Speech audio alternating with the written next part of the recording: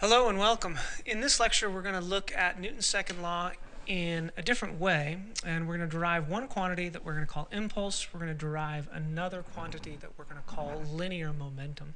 So let's start with Newton's second law, and that is the sum of the forces acting is equal to the mass times the acceleration. And the acceleration we can write in a different way because we remember that average acceleration, at least, is change in velocity over time. So let's write it that way. Change in velocity over the change in time or some time interval. So we have the net force acting is equal to mass times change in velocity divided by time. Let's multiply both sides of this equation by our delta t. So then we have the net force times the change in time is equal to mass times the change in the velocity. So on the left-hand side of the equation, essentially we have force times time. This we're going to define as the impulse acting on a system. And usually we'll see a capital J for impulse. And on the right-hand side of the equation, mass times velocity essentially is what we have. And we're going to define that as linear momentum. And linear momentum is usually abbreviated with a lowercase p. Now we need to be a little bit careful here because velocity is a vector quantity and so is force. So we're multiplying velocity, a vector, times mass, a scalar. So linear momentum is a vector quantity. As well as impulse, capital J, we're multiplying again force, which is a vector, times delta t, which is a scalar, so we get a vector quantity. So impulse as well is a vector. Looking at the left-hand side here, uh, well, let's just codify this here. We have force times time is equal to impulse, and we have mass times velocity is equal to linear momentum. And let's take a look at the units for both of these. Uh, force is newtons, time is seconds, so the unit for impulse is usually written as newton seconds. Uh, over here on the right-hand side, we have mass is kilograms and velocity is meters per second. So the unit for linear momentum is usually written as kilograms meters per second. But notice that a newton is a kilogram meter per second squared, and we're multiplying that by seconds, so we do end up with the same unit here, kilograms meters over seconds. All right, so if you're ever asked to calculate the impulse acting on a system, it's just net force times time. If you're ever asked to calculate the linear momentum of a system, you just need to do mass times velocity. What's really interesting and where this comes in handy and where it's useful is when we look at the equation together. We have the impulse momentum theorem. And we can use this equation to solve for forces or changes in velocity or even times of impact. Think about a tennis ball hitting a tennis racket. You know, what is the average force acting between the ball and the racket if it comes in at a certain speed and exits the racket at a certain speed? Uh, think about a golf club hitting a golf ball it's a very, very tiny fraction of a second that the club and the ball are in contact. And you can figure out forces involved based on the change in momentum. You can figure out impact times based on the change in momentum.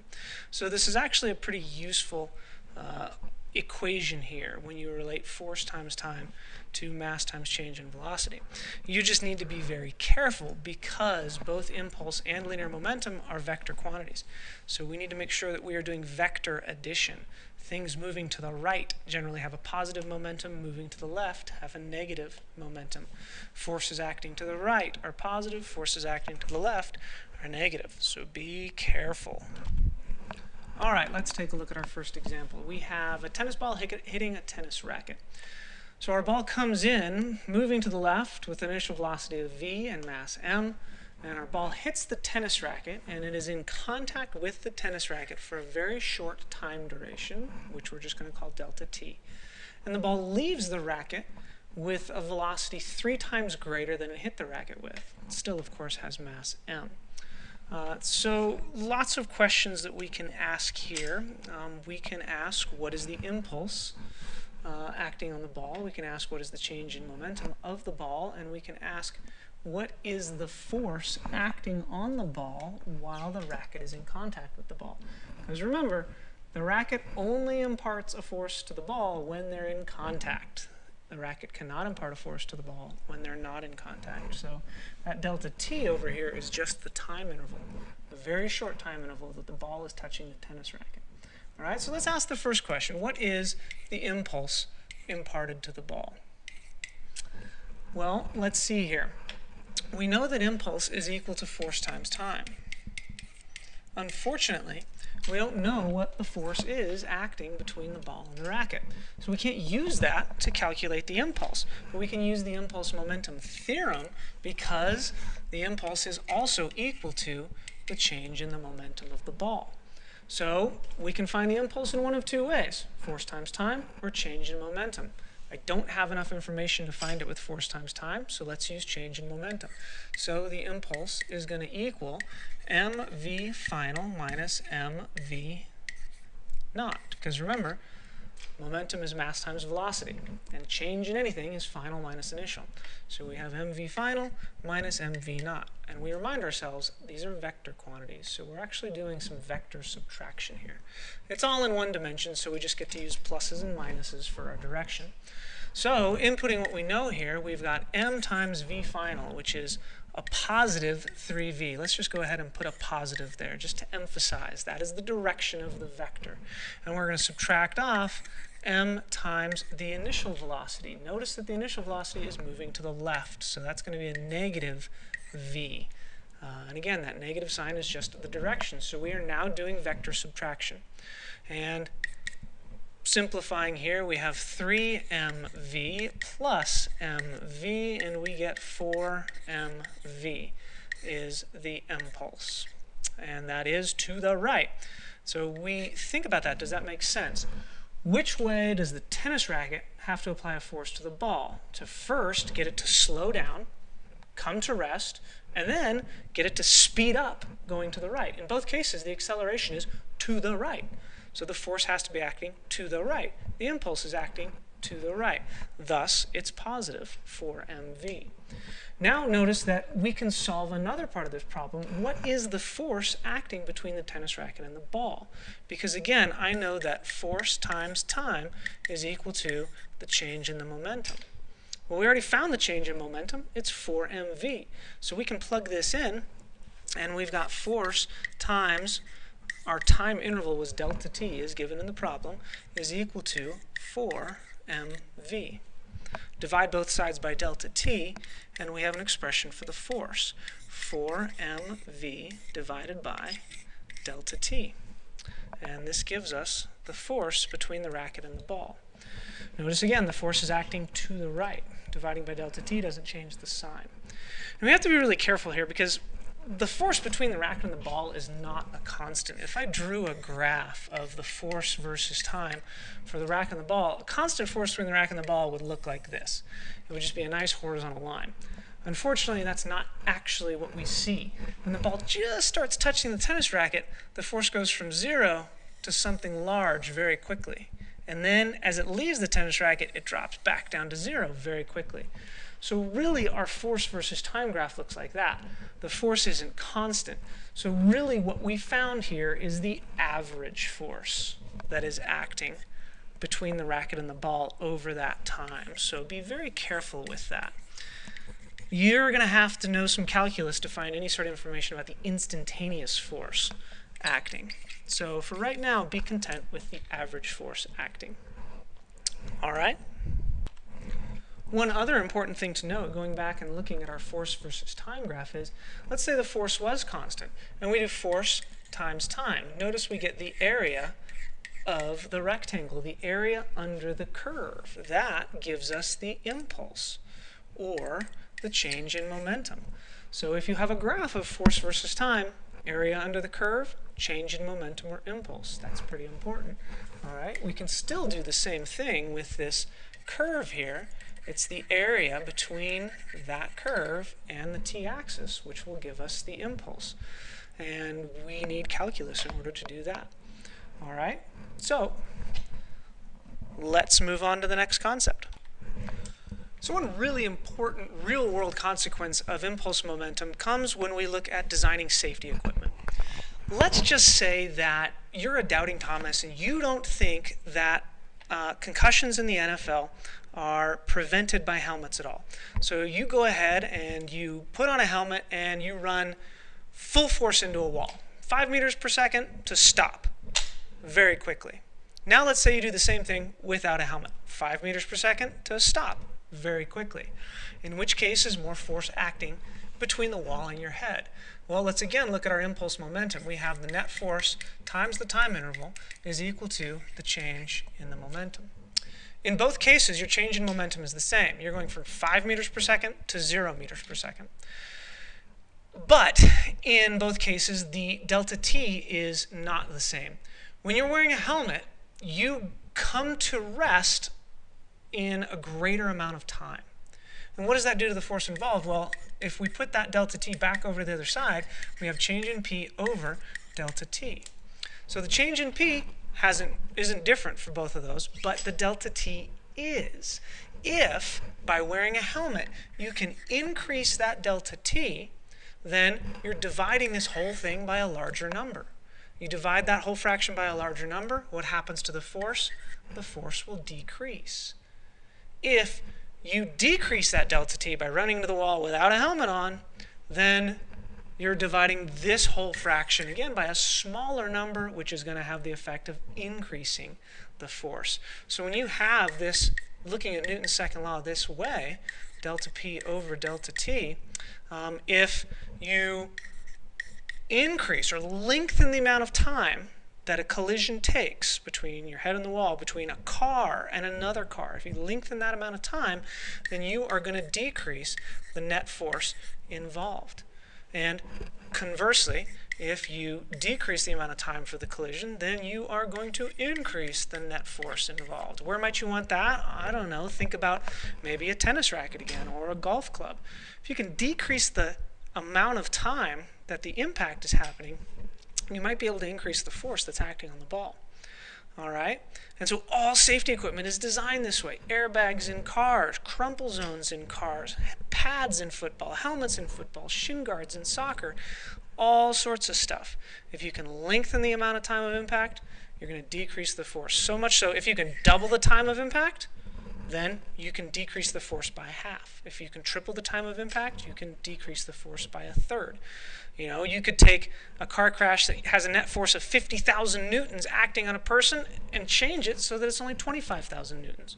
Change it so that it's only 12,000 newtons. That could be the difference between life and death. All right, so safety equipment is designed with this in mind. Increase the amount of time it takes for that change in momentum. All right? If you have Physics 1, non-calculus based physics, you can stop right now. If you're in calculus based physics, you need to stay tuned to the next section. Okay, so how do we get away from talking about that average force and being able to find instantaneous forces or the change in momentum as a result of non-constant forces? And here we need some calculus. So again, going back to Newton's second law, we have the net force is equal to ma, rewriting it with acceleration as the time derivative of velocity. We have m times dv dt. And m times v is momentum, so we can rewrite this as the net force is equal to dp dt. And that is Newton's second law actually as he wrote it and he, as he conceptualized it. If you think about it, it kind of makes sense. If you're applying a non-zero net force to something, the momentum is going to change over time. And this is more general than MA. And the reason it's more general than MA is when we look at MA, we assume that the mass remains constant. The mass of a system remains constant. That's not always the case, right? Think about, I don't know, snow falling in an empty boxcar. The mass of that system is not remaining constant. It's changing over time. And so by writing the second law this way, you can account for changes in mass. You can also account for changes in velocity. And this is actually the more general, uh, slightly more powerful form of Newton's second law. But again, we get an impulse momentum theorem. We have the sum of the forces, dt, is equal to dp. Whoops, dp. I wrote that wrong. All right, and again, this makes sense. If we apply a force over an increment of time, we are going to change its momentum. We're going to speed it up, we're going to slow it down. How do we know that? Because that's an acceleration, speeding something up, slowing it down. Okay? All right, so here we have uh, a slope and an area relationship, just like we have for lots of different concepts in this class so far. All right, so looking at the top equation here, this one, right here, we have that the net force is equal to the derivative of momentum with respect to time. So let's say that we have a graph of not just velocity versus time, but mass times velocity, which is momentum versus time, right? And let's say that that's changing like that. Well, this equation right here tells us that the derivative of momentum with respect to time is going to give us the net force. So if I've got a mass times velocity versus time versus time graph, the slope of the tangent line is going to be the net force. So that's the first relationship. The slope of momentum versus time is going to give you the net force. All right, and we already saw the area argument um, in the previous slide. We had a graph of force versus time, and for that tennis racket, we saw that the force curve kind of looked like that. We take the area under that curve, and that gives us the impulse, but really more importantly, you're not often asked to find the impulse. We really want to know what is the change in momentum of the object as a result of that force acting over that time interval. All right, so there is the slope and area relationship between these two. So going back over here, if we integrate both sides of this equation, we have the integral of f with respect to time is equal to the change in momentum. P final minus P initial. All right, because your limits of integration on this right-hand side are going to be um, P naught to P final. All right, and so we get a calculus-based form of impulse momentum. And so that allows us to deal with non-constant forces, which is really handy because a lot of times we've got an equation for force that depends on time. Remember that when we took the integral of force with respect to position, we got the net work done. Okay, so this is a different force relationship. Take the integral of force with respect to time, and you're going to get change in momentum. So here's an example where we're going to use calculus and the impulse momentum theorem and find out the final velocity here. So we have a force now as a function of time. Uh, and we know the mass of the object is 2 kilograms, and the initial velocity is 0 meters per second. We want to know what is the velocity at 4 seconds as a result of this force acting on the particle. It's a non-constant force. Uh, we cannot use kinematic equations. We can, however, we can use information we already, or skills that we already possess. If this is the force with respect to time, we can divide it by the mass and get the acceleration with respect to time.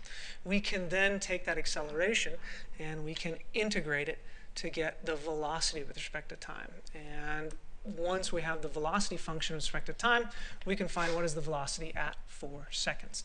We can do things slightly more elegantly with impulse momentum. So I know that the integral of force with respect to time is equal to uh, dp here, or the change in momentum. Uh, sorry, the integral of dp. So we integrate both sides here. So we have the integral of 3t squared minus 4t. And we're going to do that uh, from 0 to 4 seconds. Those are our limits of integration because we started out at 0 and we want to know what is it at 4. And we're going to integrate that whole thing with respect to time. Remember that once you integrate, the dt just goes away. And over here, um, the integral of dp is just going to be p final minus p initial. Since the initial velocity is 0, we know that thing just goes to 0 anyway. So the integral on our left-hand side is going to be p final. So let's do it. We have 3t squared. We're going to integrate that, and we get t cubed minus uh, 2t Am I integrating correctly? Yes, 2t squared. And we're going to integrate that thing from 0 to 4. So we plug things in here. We have 4 cubed minus 2 times 4 squared. And we're going to subtract off the 0 squared minus 2 times 0 squared, which is going to be 0. So on the left-hand side here, we are going to get 64 minus 32, which is going to give us 32, and that's going to equal P final. We didn't want the final momentum though, we wanted the final velocity. Uh, one word on the unit here, that was force times time, so this is newtons times seconds. Remember, that's the unit for impulse. So that's equal to p final, but we wanted the final velocity, so that's going to be m times v final. So dividing both sides by m here, which just happens to be 2 kilograms, we end up with 16 meters per second is equal to v final. And another tool in our toolbox then, impulse momentum to solve for final velocities, for times, for forces, etc. All right? So, going back, really, really, really important to remember these two properties, all right? If we've got a momentum versus time graph, the slope is the force, the net force. And if we have a force versus time graph, the area under the curve is our change in momentum or our impulse, all right? Worth committing to memory. Thanks.